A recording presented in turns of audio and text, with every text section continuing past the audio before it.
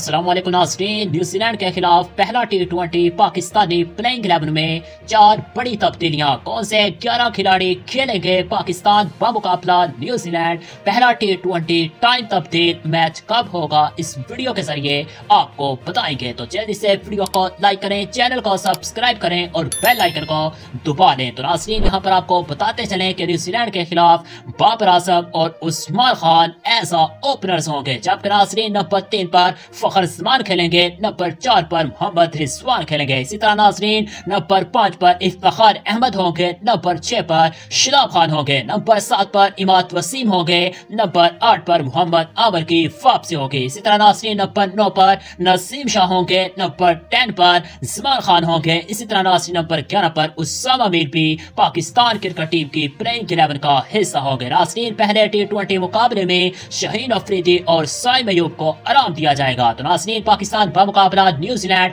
पहले मैच का time table भी तब्दील कर दिया गया, जो ये मैच पहले पाकिस्तानी वक्त के मुताबिक शाम सात बजे खेला जाना था। लेकिन अब इस मैच का टाइम टेबल तब्दील कर दिया गया है और अब ये मैच पाकिस्तानी वक्त के मुताबिक शाम साढ़े सात बजे रावलपिंडी क्रिकेट स्टेडियम में खेला जाएगा।